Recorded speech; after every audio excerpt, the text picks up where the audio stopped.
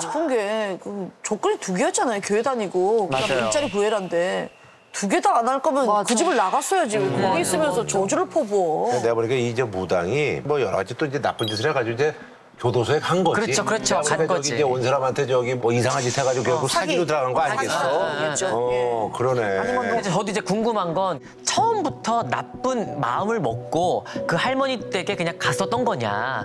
저는 애초에 나쁜 마음을 먹고 들어온 거라고 생각을 해요. 어. 네, 그 할머니가 제사상을 업기 전부터 네. 이제 귀신이 보였잖아요. 이미 가족들을 해칠 생각을 하고 들어왔던 것 같아요. 그 박수가 나중에 와서 그 아기를 보신다고 음, 아기, 했는데 생전에 이제 죄를 너무 많이 지어가지고 죽어서도 아무리 먹어도 허기가 채워지지 않는 거예요. 그러니까 그걸 벌을 준 거야 이 아기한테. 그게 아기가 만약에 계속 다음 지령 누구부터 할까요는 뭐 서서히 한 명씩 보내겠다는 거 아니겠어요? 아. 아니 그나저나 이게 사실은 우리가 할머니는 괜찮아지셨는지 네, 맞아요. 그 집에서 어떻게. 계속 그게. 살았는지 아니면 그러니까. 어떻게 된지 예, 어, 궁금해요. 예, 어떻게 된 겁니까?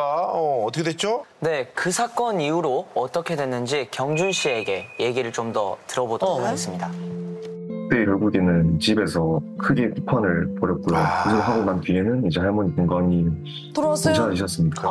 네. 다행이다 진짜. 어머니랑 아버지 전부 다 이제 할머니 집에서 나와서 따로 생활을 하게 되었고 할머니 할아버지도 이제 경상남도 이제 김해로 이제 아이고, 이사를 아이고. 가셨습니다.